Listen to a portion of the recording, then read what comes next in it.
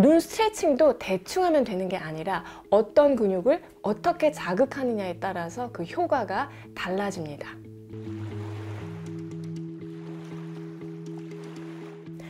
안녕하세요. 정세현 알살 라이프 레시피 정나래입니다. 우리는 근육의 중요성을 깨닫고 여러 가지 운동을 하는데 정작 눈 운동을 하는 분은 많지 않으시죠. 딱히 병이 있는 것도 아닌데 눈이 침침해지고 쉽게 피곤하고 시력이 떨어지면서 노안이 급격하게 찾아온다면 이는 눈 근육의 약화가 원인인 경우가 많습니다. 운동은 하나도 안 하면서 영양제만 섭취해서는 이 팔다리의 근육이 생기지 않는 것처럼 눈도 영양제만 먹는다고 근육이 저절로 튼튼해지지는 않아요. 그러나 굳어있는 눈 근육을 충분히 스트레칭해서 피로를 풀어주고 꾸준한 운동을 한다면 노력하는 만큼 눈 건강을 개선하고 또 밝고 선명한 눈을 유지하는데 많은 도움이 됩니다. 자, 그런데 운동도 대충 한다고 되는 게 아니잖아요. 어떤 근육을 어떻게 자극하는 것이 중요한 것처럼 눈 운동, 눈 스트레칭도 마찬가지입니다. 그래서 간단하면서도 이제 효과적인 눈 운동법을 제가 찾다가 오늘은 일본의 안과 전문인 야마구치 고조 선생님이 쓰신 1일 1분 시력 운동이라는 책에 있는 내용을 바탕으로 제가 눈 스트레칭 하는 방법을 여러분께 알려드리려고 해요. 우리 눈은 유리체라고 하는 투명한 물질이 가장 많은 부분을 차지하고요. 유리체는 빛이 지나가는 통로로서 망막을 보호하는 쿠션 역할을 합니다. 그리고 그 앞에 수정체가 카메라의 렌즈처럼 빛을 굴절시켜서 시력에 초점을 맞추는 역할을 하는데 중요한 것이 이 수정체를 잡고 있는 선모체근이라는 근육이에요. 자, 가까운 것을 볼 때에는 이렇게 선모체근이 수축을 해서 수정체를 두껍게 만들고 먼 곳을 볼 때에는 선모체근이 이완되면서 수정체를 얇게 만들어서 망막에 상이 맺히게 해요. 우리가 멀리 있는 물체에서 갑자기 가까이 있는 물체를 탁 어, 볼 때 시선을 급하게 이동시켜도 물체가 선명하게 보이는 이유는 이 선모체근이 유연하기 때문입니다. 요즘에는 컴퓨터와 스마트폰 사용하는 시간이 많아졌잖아요. 그래서 근거리 작업을 주로 하게 되는데 이렇게 되면은 선모체근도 수축, 수축, 계속 수축만 하는 과도한 수축된 상태에 있을 거 아니에요? 그러다 보니까 눈 피로가 정말 심해지고 제가 그런데 어, 선모체근이 수축된 상태로 굳어져 버리면 이완이 잘 안 되기 때문에 멀리 보는 것이 어려운 근시가 점점 진행될 수가 있습니다. 따라서 경직된 선모체근을 충분히 풀어주고 유연해질 수 있도록 눈 스트레칭을 매일 해주는 것이 어, 꼭 필요한데요. 선모체근부터 스트레칭하는 방법 알려드리면 멀리 보기와 가까이 보기를 번갈아서 어, 하는 훈련을 하시면 돼요. 지금 한번 따라 해보세요. 자, 여러분이 있는 곳에서 멀리 뭐가 보이세요? 창문 밖으로 뭐 고층 빌딩이나 나무가 보일 수도 있고 실내에 있다면 벽시계 같은 게 보일 수도 있는데 하여간에 먼 곳에 있는 물체를 집중해서 3초간 바라봐 주세요. 이렇게. 그 다음에 다시 왼손으로 왼눈을 가리고 같은 물체를 3초간 응시하시고요. 그 다음에는 오른손으로 오른눈을 가리고 멀리 있는 물체를 3초간 응시하는 거예요. 이게 한 세트고요. 이렇게 해서 3회를 반복하시면 됩니다. 한번 해볼게요. 멀리 있는 물체를 3초간 2, 3 가리고 1, 2, 3 가리고 1, 2, 3 네, 이렇게 해서 3회 반복하시면 돼요. 두 번째는 손톱을 이용한 원근 스트레칭인데요. 이 엄지 손톱에 여러분이 지금 뭐 글씨 같은 걸 좀 써주셔도 되고 저는 그냥 번거로워서 이 손톱에 있는 손톱 반달을 보는 것으로 대신을 해요. 그래서 근시인 분들은 이 글씨나 손톱 반달이 딱 잘 보이는 위치에서 시작을 하시고요. 원시인 분들, 그러니까 가까이 있는 게 잘 안 보이는 분들은 좀 잘 안 보이고 흐릿한 위치에서 시작을 하시면 됩니다. 자, 이 상태에서 1초 만에 손을 쫙 뻗어주시고 다시 2초를 세면서 앞으로 원래대로 자리에 돌아오는 게 한 세트예요. 그래서 이걸 3회 반복하시면 되는데 시선은 항상 원 그 위치에서도 글씨나 손톱 반달을 보시고요. 그리고 멀리 쭉 뻗어서 볼 때도 계속 같은 곳을 응시하시면 돼요. 자, 다시 한번 쭉쭉 원위치로 다시 원위치 이렇게 하루 세 번 해주시면 됩니다. 세 번째는 볼펜을 이용할 거예요. 여러분 볼펜 있으신가요? 네, 볼펜 준비하시고요. 가까이서 시작하는 게 아니라 볼펜으로 어, 하는 원근 스트레칭은 멀리서 시작하는 거예요. 그래서 내가 볼펜이 잘 보일 정도까지 팔을 쭉 뻗어주시고 볼펜을 3초간 바라봅니다. 1초, 2초, 3초. 그리고 시선을 옮겨서 아주 멀리 있는 풍경을 3초간 바라봐 주세요. 1초, 2초, 3초. 이게 한 세트예요. 다시 볼펜으로 돌아와서 1초, 2초, 3초. 먼 풍경을 1초, 2초, 3초. 그래서 볼펜을 봤다가 멀리 풍경을 봤다가 볼펜을 봤다가 멀리 풍경을 봤다가 이렇게 하면서 굳어있던 손모체근을 계속 풀어주는 거예요. 자, 손모체근 스트레칭이 끝나면은 그 다음으로 우리가 이렇게 좀 스트레칭 해줘야 될 근육이 손모체근과 연결된 홍채근인데요. 홍채근은 수축과 이완을 통해서 이 동공의 크기를 조절하는 역할을 합니다.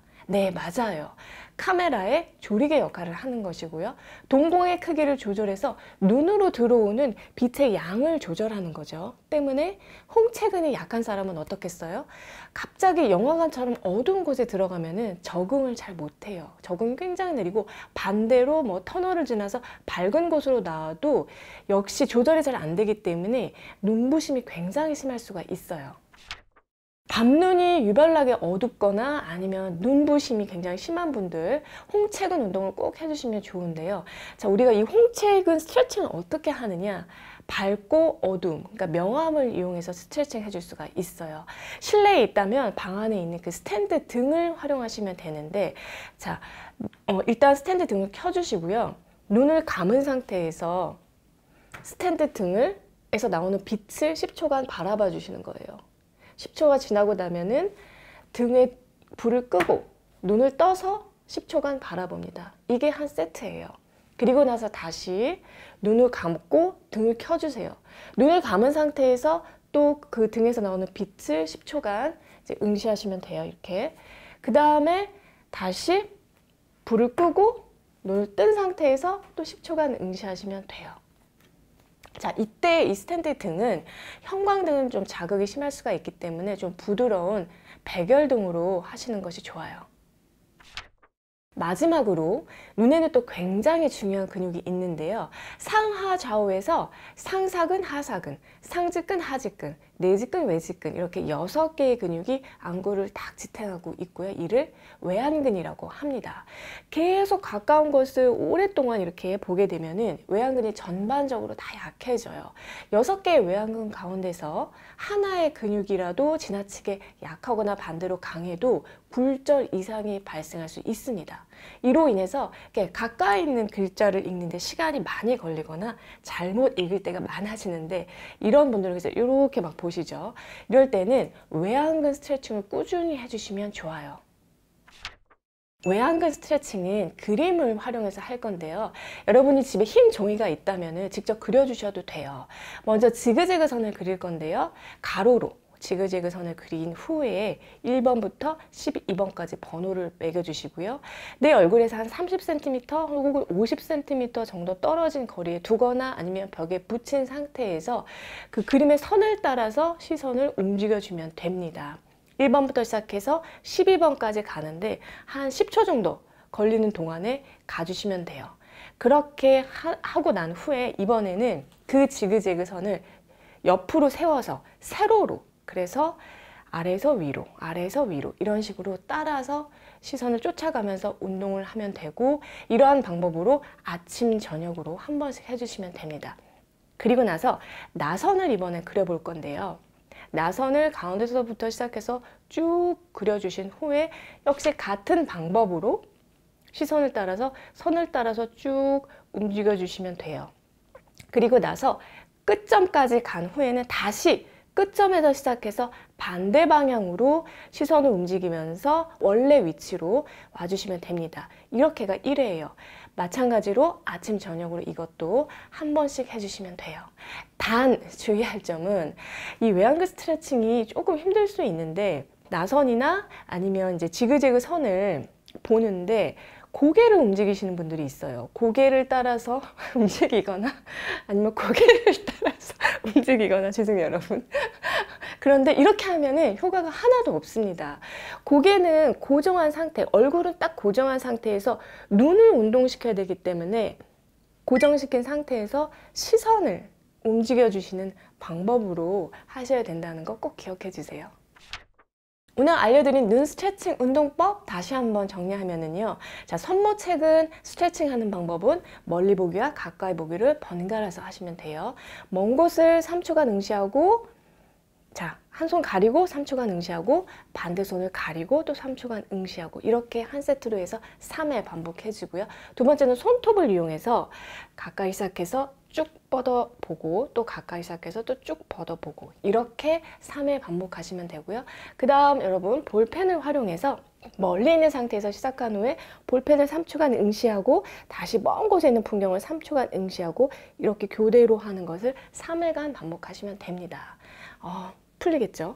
그 다음 홍채근을 스트레칭하는 방법은 방 안에 있는 이제 스탠드 등을 이용하시는데 등을 껐다 켰다 하면서 눈을 감았을 때 등에서 나오는 빛을 응시해 주시고 눈을 떴을 때는 등을 껐다가 한 10초간 쉬고 이렇게 해서 역시 3회간 반복하시면 되고요. 마지막으로 외안근을 스트레칭하는 방법은 지그재그나 어, 나선을 활용해서 그림을 따라서 시선을 쫓아가면서 운동을 시켜주면 돼요. 이렇게 아침 저녁으로 꾸준히 해주시면 정말 웬만한 영양제보다 효과가 좋습니다. 더 다양한 눈 운동법이 이 책에 담겨 있으니까 궁금하신 분들은 참조하시고요. 여러 가지 운동법으로 눈 근육을 골고루 스트레칭 시켜주고 또 근육을 강화해주면 눈 건강에 많은 도움이 될 수가 있어요. 여러분 올해도 정말 우리 소중한 눈 건강 정나래와 함께 잘 챙겨주셨으면 하고요. 저는 다음에 또 좋은 내용으로 찾아뵐게요.